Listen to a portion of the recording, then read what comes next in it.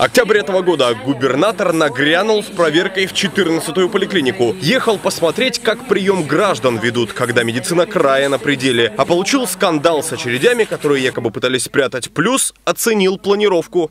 Ширина коридора вот такая в поликлинике на первом этаже жилого дома. И так повсеместно, ну, ну не повсеместно, но очень много где. Не, не, не пройдешь, чтобы кого-то не зацепить.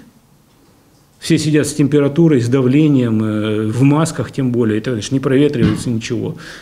Сейчас, как говорят в Минстрое, новое здание клиники закончено на 50%. Это один из самых крупных объектов медицинского назначения, которые строили в крае за последние пять лет. Без этого здания поликлиники, которая рассчитана на район почти в 72 тысячи жителей, никак не обойтись. Подрядчик уверяет, что пока идет по плану с опережением, несмотря на строительные проблемы корона года.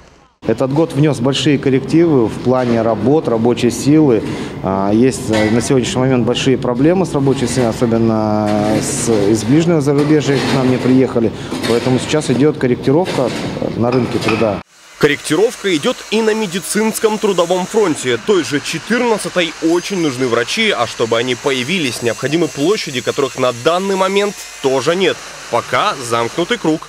Поликлиника – это в большей степени э, терапевты, да, это основная нуждаемость э, и основные специалисты, которые принимают э, на, данный, на данном этапе их 28, необходимо 42. Проблема заключается в том, что мне сейчас э, принять я могу, у меня хватает и финансов, и ресурсов, но э, рассадить их некуда.